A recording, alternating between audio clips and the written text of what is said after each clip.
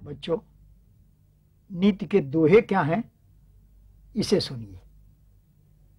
वास्तव में हम सब एक समाज में रहते हैं और समाज में रहते हुए हम और समाज के अन्य व्यक्ति सुखपूर्वक कैसे ज़िंदगी बिताएँ, ये हमको शिक्षा नीति से मिलती है। कबीर कुछ नीति के दोहों में ये चर्चा करते हैं।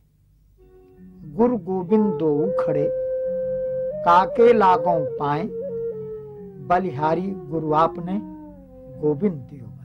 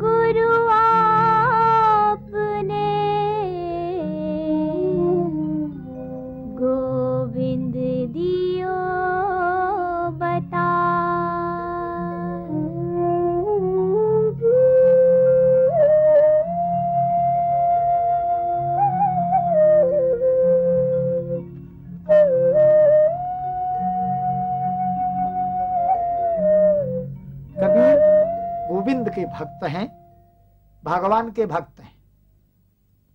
भगवान तक पहुँचने का मार्ग कबीर को गुरु ने बताया है।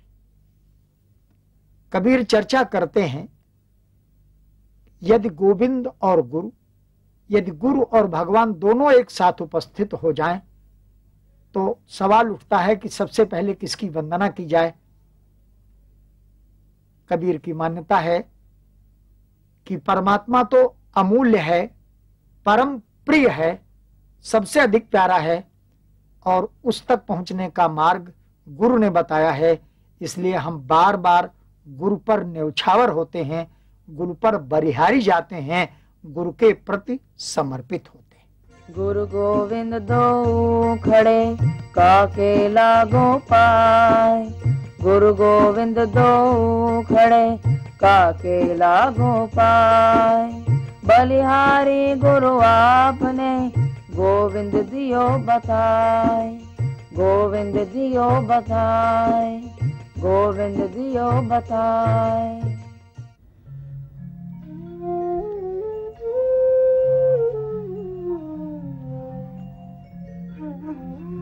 वृक्ष कबो नहीं फल भक है नदीन संचय नीर, परमारथ के कारणे साधुन धरा शरीर वृक्ष कबहु नहीं फल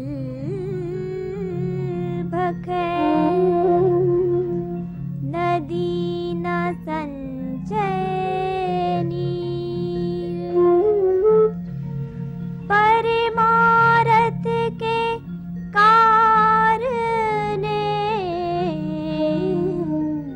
साधुन धरा